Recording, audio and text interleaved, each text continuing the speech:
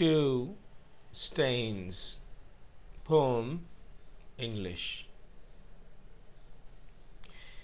Years ago, I found a beautiful little firefly and imprisoned it in a cloth cap.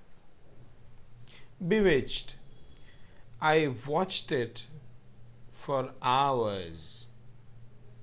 Next morning, eager to see it shimmering again, I opened the gates of his prison and found an ugly bug inside.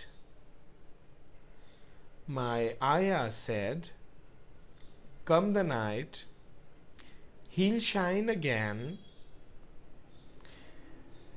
Our Bahishti, the waterman, said, Free him now, he has been yours for a night. But betrayed and dispossessed, unable to accept a single night's connection. I threw him on the cemented floor and quashed him until he was no more than a stain.